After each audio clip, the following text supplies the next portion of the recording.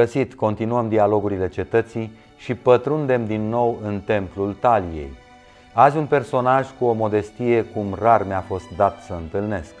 Un actor fidel de 38 de ani teatrului mic din București, care spune despre actorie că este o meserie continuă, 25 de ore din 24, și despre sine că este un băiat politicos și ceva mai harnic. Are în portofoliu sute de spectacole și 22 de filme artistice.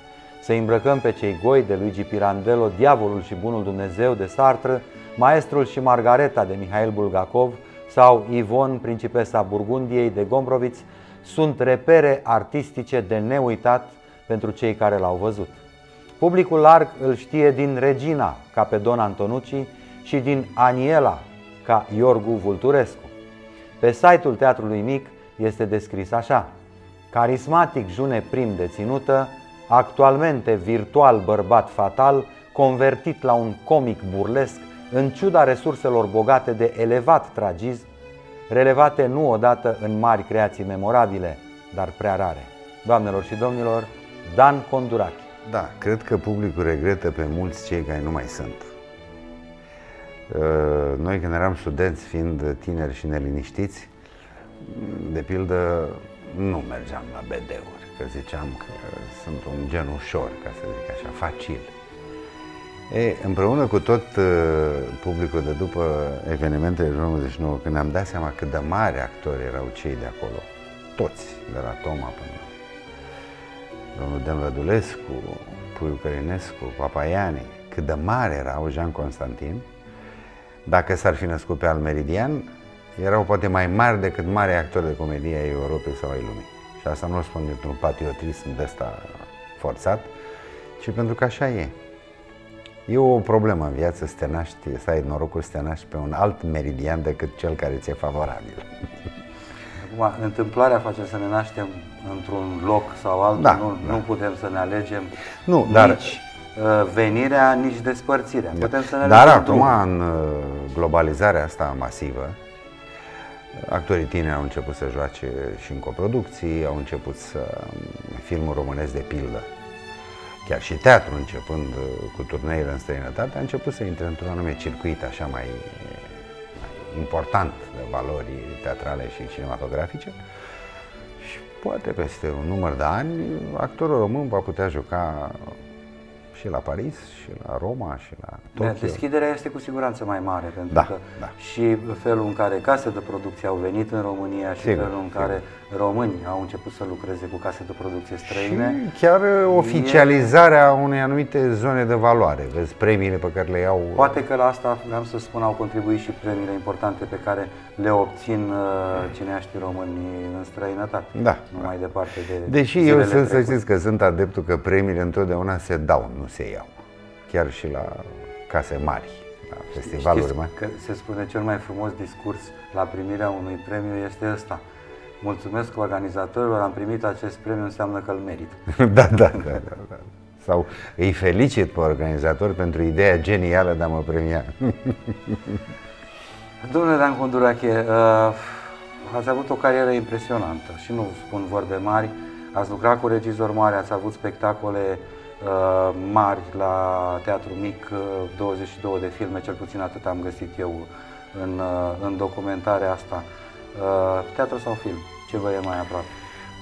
Păi, e, nu știu cum să spun, uh, când eram mai e, tânăr și neliniștit, am avut la un moment dat senzația, fiind uh, educat la un moment dat în televiziunea română, că mi-e mai simpatic, uh, mi-e mai simpatică evoluția în fața camerei.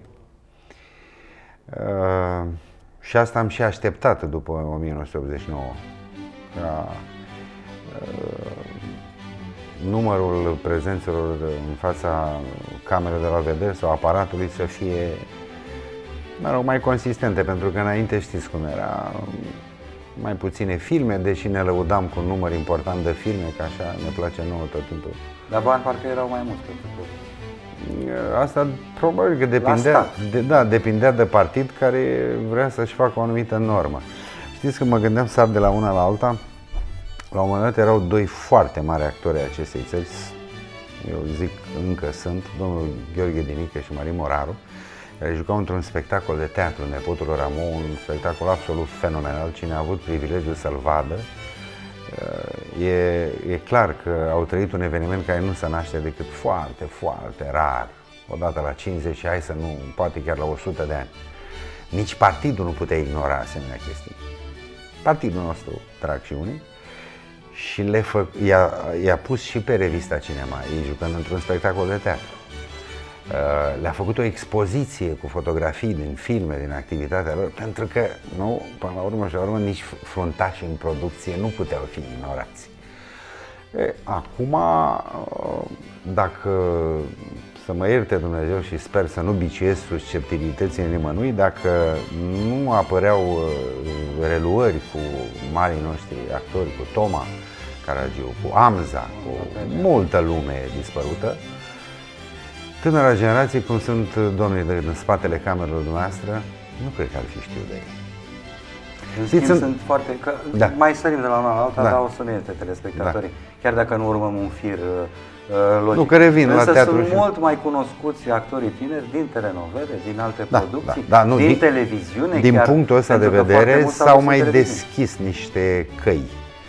Uh, vedeți, într-o seară, și sper de asta spun să nu biciuiesc susceptibilitățile nimănui, am stat pe TCM, e un post de, de filme, îl putem spune.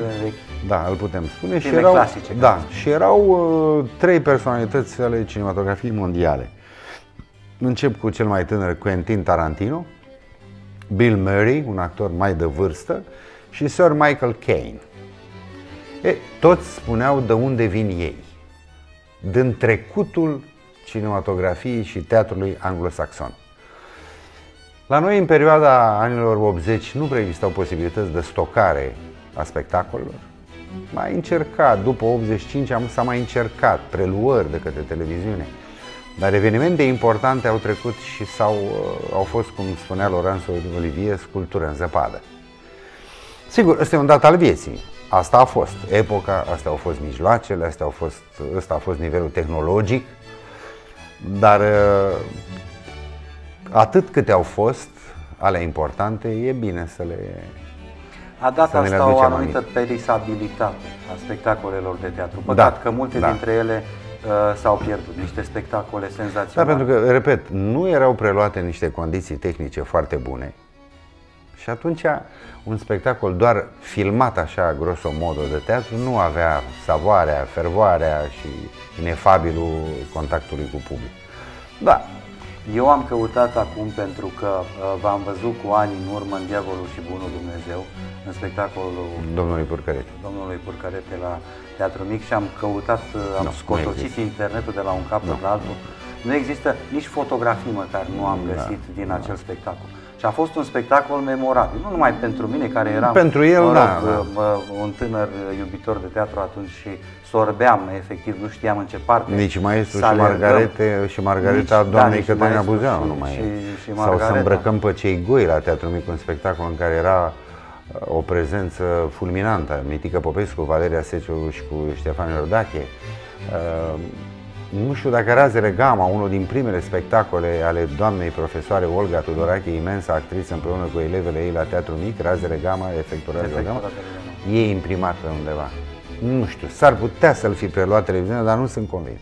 Ar fi păcat dacă s-au pierdut uh, evenimentele astea, dacă s-au pierdut Că au fost, a fost o, o bogăție. Mi-amintesc că acea perioadă în care toată lumea mânca teatru pe pâine pur și simplu, da. era un loc, era un... Uh, uh, și Multe s-au șters. Un loc de defulare. Da, corect. corect. Multe s-au șters pentru că au spus că noul trebuie să învingă. nu întotdeauna, da. nu întotdeauna fericit. Uh, revenim la film, da. uh, film teatru. Aș fi vrut să vă întreb că vorbeați de epoca asta. Ați făcut sezonul Pescărușilor da. cu Gina Patrichi și Carmen Galin în 1985. De ce a fost filmul ăsta interzis de cenzură la un moment? Din cauza tezei de doctorat a, din scenariu, dacă l-ați văzut. Nu mi-am Deși era făcut la recomandarea unor uh, consiliere ai conducerii de partid, filmat într-unul din combinatele cele mai grozave pe vremea aia care s-a un combinat chimic la Giurgiu, am filmat împreună cu domnul George Constantin. Și ca idee, cred că a deranjat ideea, uh, a deranjat ideea că să dispută paternitatea, originalitatea unei opere, unui, unui, unui doctorat. Că văd că problema a rămas în picioare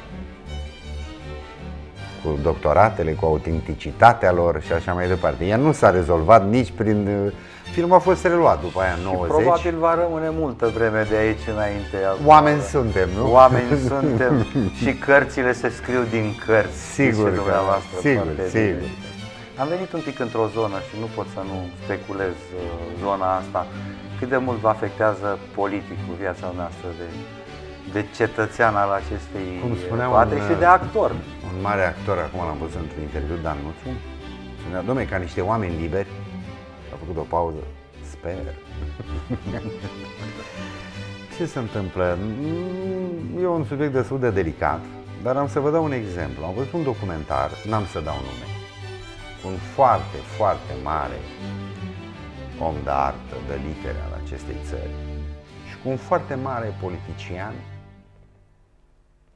dinainte de 45. Era un filmuleț, o... s-a dat puțin în nu știu ce context.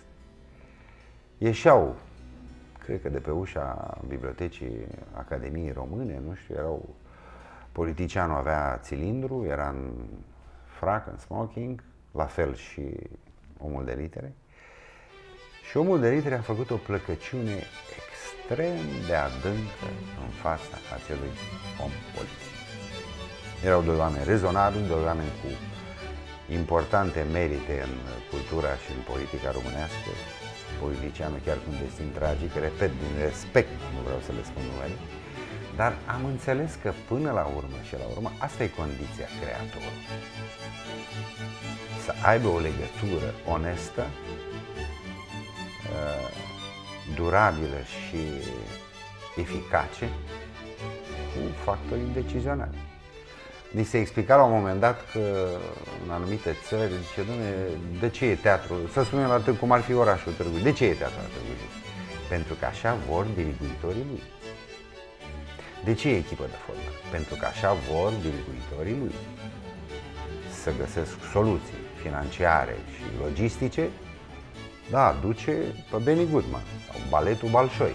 Pentru că așa vreau, așa doresc uh, factorii decizionali care sunt atenți la doleanțele și cerințele. Dacă rezonează. Dacă sunt rezonează, și alții da. care nu rezonează pur și simplu. Bineînțeles. Bineînțeles. Sunt alții care vin și, și impun un stil, o marcă. Da. Dar în materie de cultură, apropo de, de ce depinde, în, ne dădeau la în anii de curs un exemplu. E adevărat că era din America, ceea ce în, în ultima vreme nu ne prea, niciun exemplu din afară nu ne place. Că într-un stat din America s-a investit cu 15% în materie de cultură, mai mult decât în statul vecin. Și s-a constatat peste 10-15 ani că salariile oamenilor muncii din statul unde a fost investit în cultură erau mai mari cu 15% față de cei unde nu s-a investit în materie culturală. E o zonă de perspectivă care trebuie extrem de delicat gestionată. Vorba oricine poate să spună și ce, fără Platon, fără să citești Platon, nu poți să trăiești?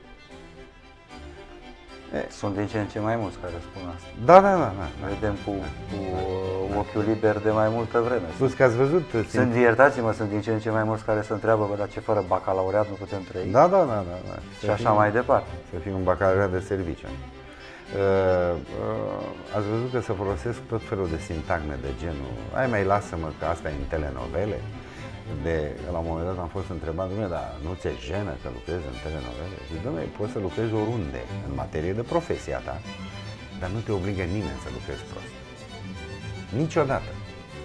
Dacă iese prost, sunt diversi factori, inclusiv tu, care n-ai făcut ce trebuie ca să fie bine. Un actor mare spunea că dacă târâi un lanț prin fundul scenei, să o faci cu profesionalism Absolut, și cu, absolut. și cu dăruire, indiferent Absolut. de... Nu există nimic pe de scenă, rolul pe pe spunea care îl profesorul nostru, care să nu fie acut.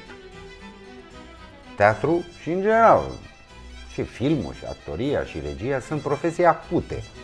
Pentru că altfel ar fi mai interesanți cei de pe stradă. Da. Uh, Spuneați într-un interviu că, apropo de, de cariera artistică, ați fost un băiat politicos și Da. ceva mai harnic. Da, da.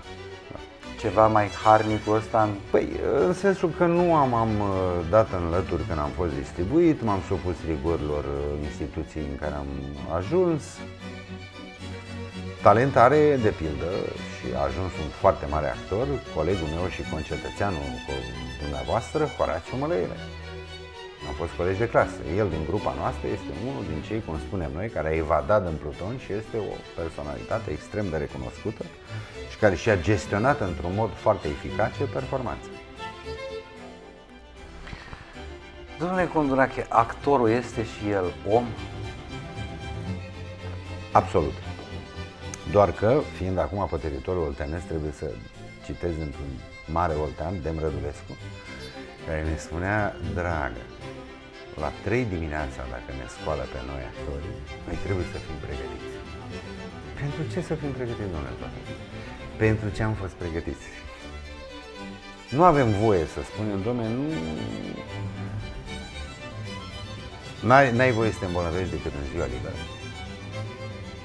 Și nici atunci, pentru că următoarea e cu servici, N-ai voie să ai probleme părinții personale? trebuie să-și alege, să-și aleagă ziua în care mor sau al, au alte probleme de sănătate ca să-i ajuți.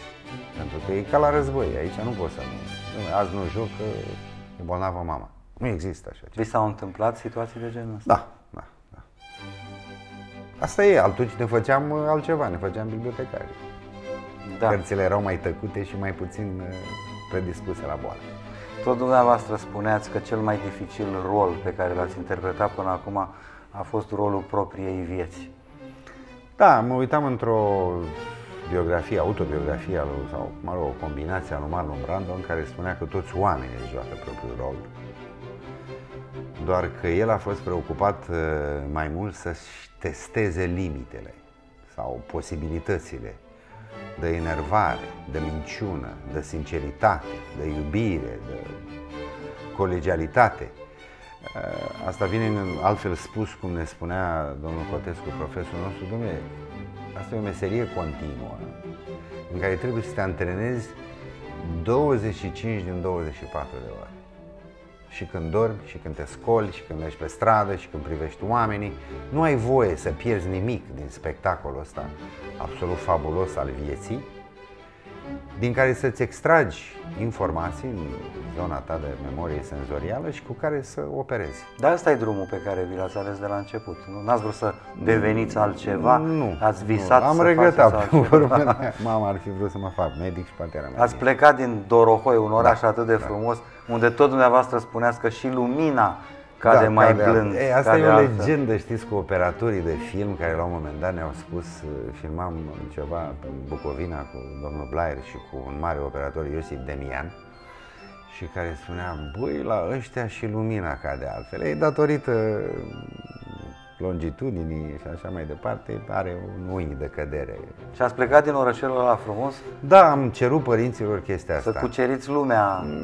Nu știu dacă, Sălilor nu și a- știu dacă, a am, sălilor de dacă, dacă mai cinematograf. aveam în cap așa ceva, dar am trăit sub imperiul teatrului radiofonic, că n-am avut televizor decât în clasa 9 și ascultam la difuzorul la mic, așa, teatrul radiofonic cu mari corifei, mi-aduceam aminte, mi-aduc aminte că l-am auzit pe domnul Codrescu în hoții de Schiller, îl țin minte și acum eram acolo călare pe difuzor și poate din asta vine, știți, e ca la, un- ca la sport. Ai ai vrea să joci ca Năstase, măcar să încerci. Nu iese, nu iese. Dar lumea asta în care ați intrat, cum, cum vi s-a părut la început și cum vi se pare acum? Știți, ne spunea tot profesorul nostru că asta e o meserie îngrozitoare. Noi nu prea băgam în seamă lucrul ăsta, adică nu luam în seamă, așa e vârsta, așa era. Dar ne avertiza că vom fi singuri, cu o butadă care ne-a rămas în cap. Zice, aveți grijă că asta e o meserie colectivă care se practică individual. Dacă o ratezi individual, nu te mai vrea nici colectiv. E o lume extrem de, de...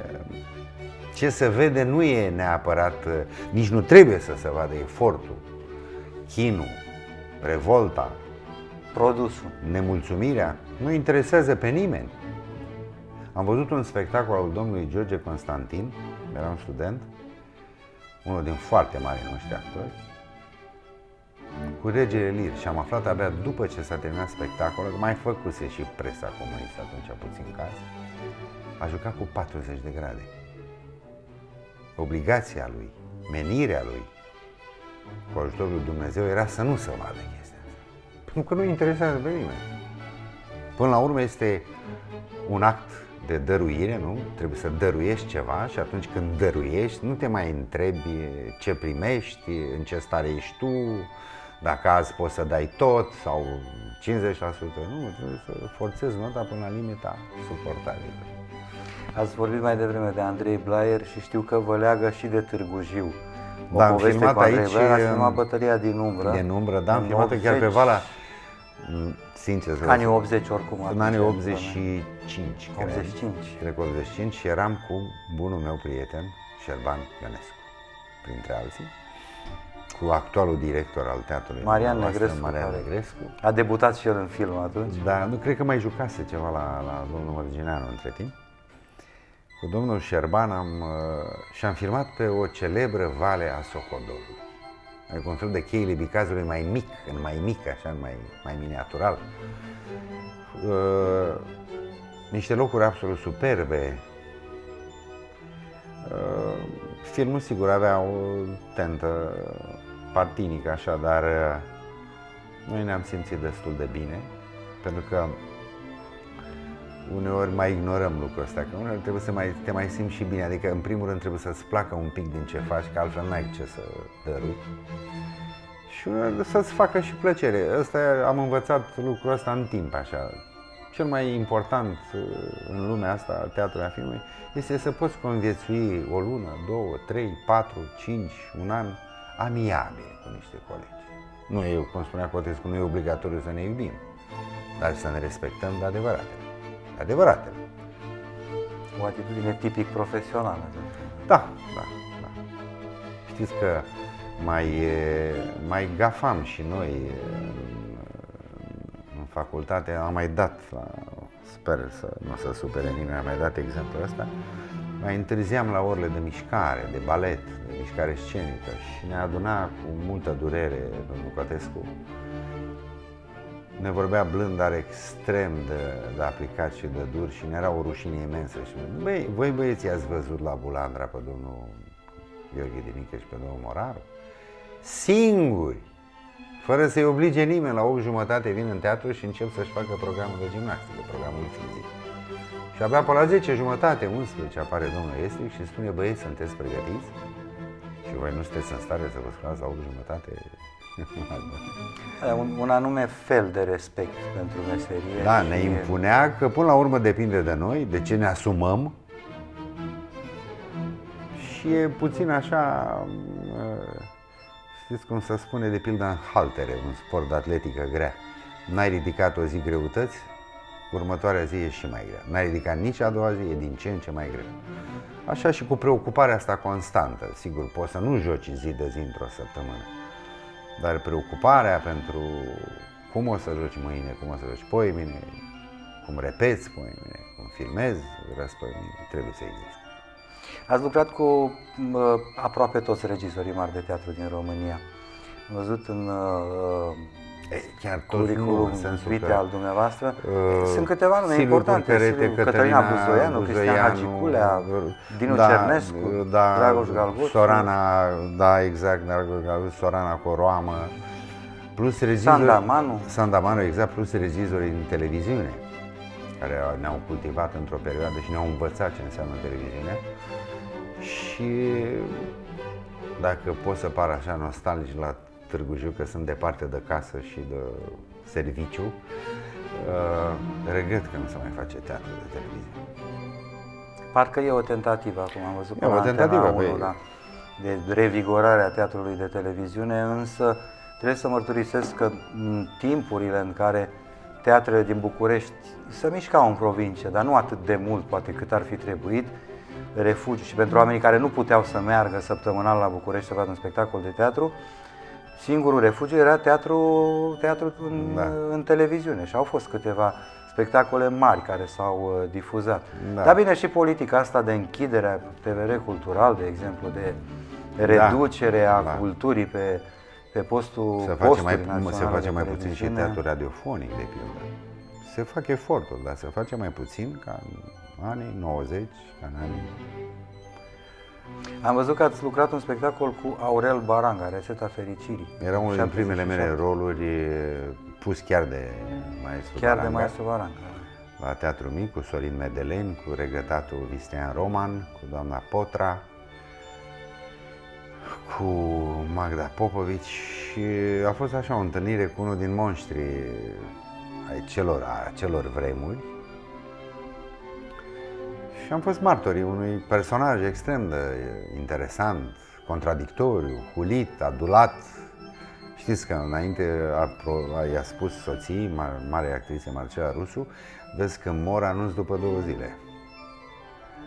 La modul ăsta trata cinic uh, pentru că până la urmă și la urmă, știți, am văzut iar un mare actor de curând uh, american, englez, și care îl întrebau studenții cum e când nu vă iese, când nu iese, când nu iese.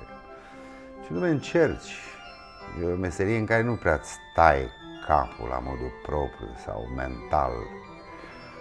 A doua zi te poți apuca din nou de ea. Dar uh, poți să încerci marți și n-ai energie, miercuri nu ți zboi acasă, și în final zice să fiți convinși că nu e foarte important dacă vă iese, pentru că tot timpul se vor găsi alții în spatele vostru, în dreapta voastră, în stânga voastră, înaintea voastră, care vor tenta performanța și poate le și iese. Nu, e, nu trebuie să te crezi atât de important în lucrul ăsta. Eu am o admirație enormă pentru oamenii care fac pâine, care construiesc case, Ați avut uh, un regizor mai apropiat sufletului dumneavoastră, un regizor cu care ați lucrat mai bine? Am cu care, fost pe într-o care l-ați perioadă că am simțit făcut mai un bine? număr, niște, un număr de filme și comunicam într-un anumit fel, deși nu era o persoană comodă deloc, se numește Dinu Tănase, regizorul de film. Am cunoscut întâmplător la un post sincron și am avut o perioadă de... Dar, repet, nu în sensul că apropiat că uh, frecventam aceleași fete și ne plăcea Nu, același vin. profesional, Nu, nu, sigur că da. profesional vorbind și invers. Pentru că până la urmă și la urmă toată zona asta halucinantă de adevăr uh, și de emoție cu care trebuie să lucreze regizorul, actorul, scenograful, operatorul, e, o, e, e doar o complicitate dusă până la extrem, care poate deveni și periculoasă uneori. Dar dacă această complicitate nu există, nu cred că Și invers, un regizor din zona imposibililor, un regizor cu Nu, care se n-au lucrează fost. greu, care Uh, este... N-au fost. uh, Ce poți să spui de pildă? Am am făcut un film uh, mai puțin uh, așa, care a avut audiență mai de curând așa. Una din puținele apropieri de domnul Dan Pița. Mi-aduc aminte că aveam o scenă cu regretatul Adrian Pintea, noi fiind, repet, și Adrian, Adrian era chiar un tip talentat, fiind niște băieți politicoși și harnici, în sensul că, domne, asta e regula la armată, aștepți să ți se spună anumite lucruri, nu dai dovadă de lipsă de minte și filtrezi, și la un moment ne-a pus la o scenă să o facem de vreo 5 ori, dar de fiecare dată altfel. Și noi eram înnebuniți că mai învățat și, și noi până la vârsta aia cu montajul. Păi zic, cum le poate combina? N-avea cum, trebuia să aleagă una din cinci. Era un test. Nu puteai să-i spui nu sau de ce ne-ai făcut asta, stimabile? M-am uitat pe spectacolele teatrului mic, am văzut că și acum aveți uh, un da, dar portofoliu jucăm destul de... puțin, mai, mai, mai, mai puțin. Ne, ne? Știți, așa ca să vorbim ca doi băieți, simți la un moment dat, după o anumită vârstă, că viața te împinge spre margini. cum vorbeam cu o tânără studentă la asta la scenaristică.